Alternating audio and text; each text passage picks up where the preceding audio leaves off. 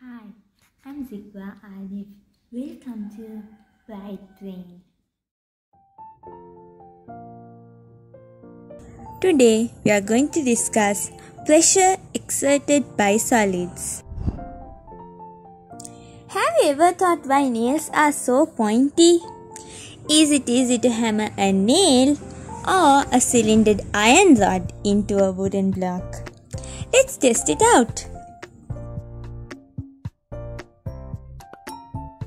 Well, the nail was hammered quickly. But why? Because the whole force coming from the top of the nail was focused on this single point, so the pressure is high. But in the iron rod, it had to spread the whole force coming from the top into the area which is touching the wooden block.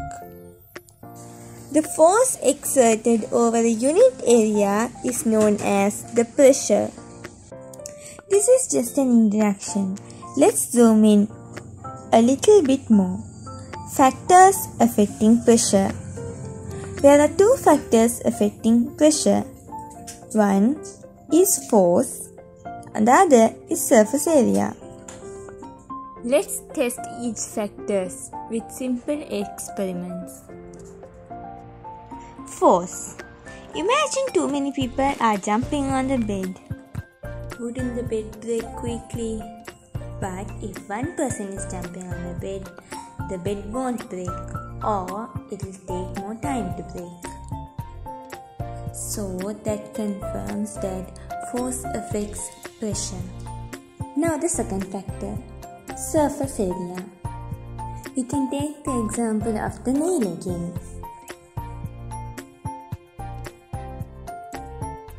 That confirms that surface area affects pressure.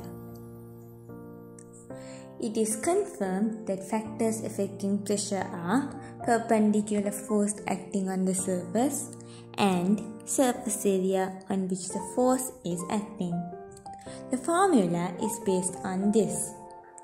Pressure equals to perpendicular force over surface area. Force is measured in newtons and the area is measured in square meters. The unit for pressure is newtons per square meter and also it is been called as Pascal after the French mathematician Blaise Pascal. 1 Pascal is equal to 1 Newton per square meter.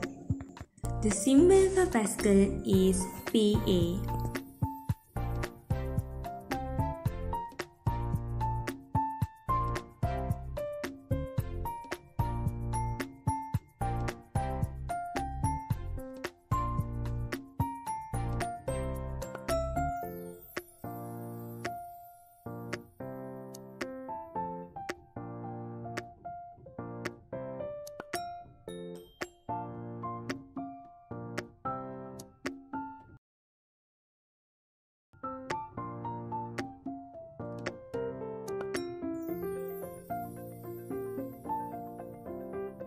Thanks for watching. I'll meet you in the next video. Meanwhile, like, share, subscribe and give your valuable comments.